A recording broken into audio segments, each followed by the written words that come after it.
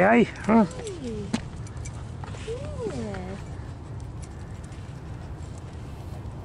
A wonderful place for dogs. Oh, it? beautiful place, yeah. I just we come out here when we don't think anybody else is around, just to let him run. Yeah, he likes to run too. Does he? Yeah. Well, we're leaving, so it's all yours. Okay, thank you.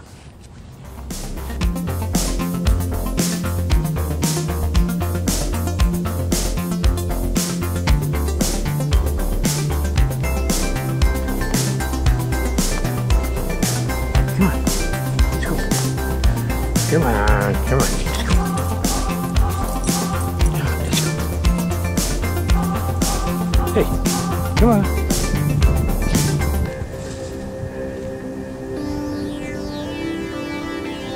Come on. Come on. Come on. Come on.